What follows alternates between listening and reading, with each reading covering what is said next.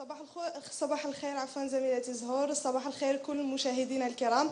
نحن متواجدون الآن على مستوى آه، متوسطة عمر واضح ببلدية واد سمار. أين سيجتاز آه، تلاميذ آه، شعبة الأدب والفلسفة امتحان الفلسفة؟ هذا اليوم هذا اليوم الثالث للإشارة في تلفزيون نهار كان رفقة التلاميذ طيلة اليومين السابقين. كما قلت كما سبق وقلت أن تلاميذ سيجتازون امتحان الفلسفة. هذه المادة الأساسية. آه، تلاميذ يمكن أن نقول متخوفون أو يعولون على هذه المادة لأنها أساسية. سيلتحق بهذا التلميذ من أجل معرفة رأيه حول آه، حول امتحان الفلسفة. صباح الخير. ذكرني في الاسم.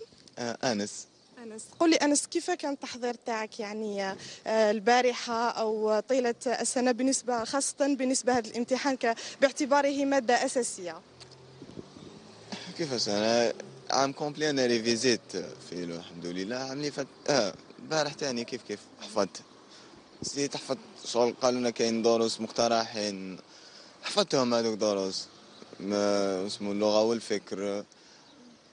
يعني الواضح إنه أنت ما رقدتش مليح البارح مليح البارح نعم نريمان وماذا عن الحالة النفسية لهم بعد امتحانات اللغة العربية؟